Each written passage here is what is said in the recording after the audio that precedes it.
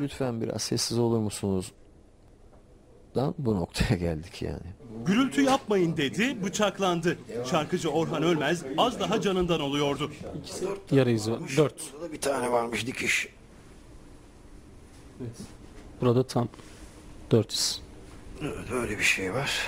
Ünlü şarkıcıyı bu hale getirenler üst kat komşularıydı. Saldırganlar Ölmez'i beş yerinden bıçakladı.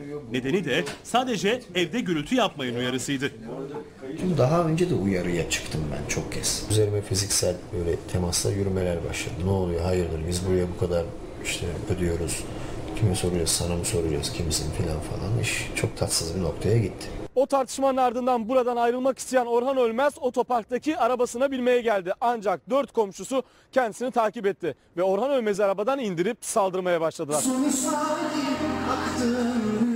Saldırganlar bununla da yetinmedi. Aracın anahtarına da el koydular.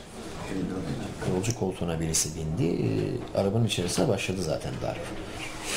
E ben tabii artık dayanamayıp arabadan indim yani. Arabanın anahtarı da alındı.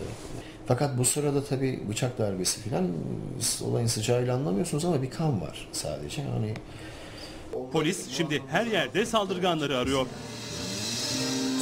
Sari aktı